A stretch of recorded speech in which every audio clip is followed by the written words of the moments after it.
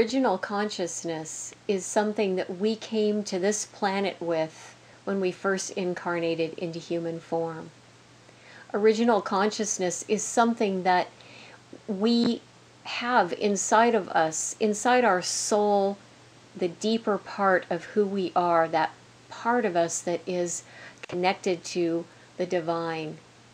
Original consciousness is what we're all striving to get back to.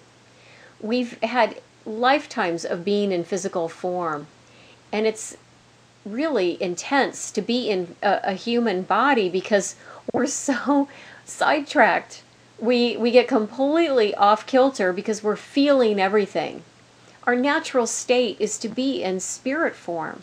So to step into a body and then have all of the feelings and everything that comes up from that experience added to the fact that we're creating karma every time we experience an emotional wounding that we don't resolve and forgive, we've got something added to that karmic bag.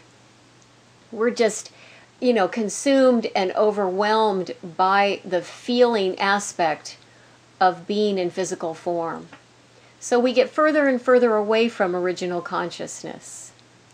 What we need to do, and what many people are striving to do right now, is to raise their consciousness, to ascend, and to be in a higher state of consciousness as we move into this fifth dimension that means we need to bring all aspects of our being together the physical, mental, emotional, and spiritual bodies.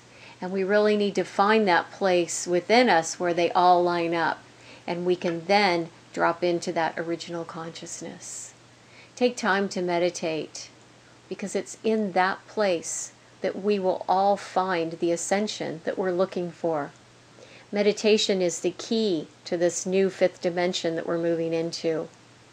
Thank you.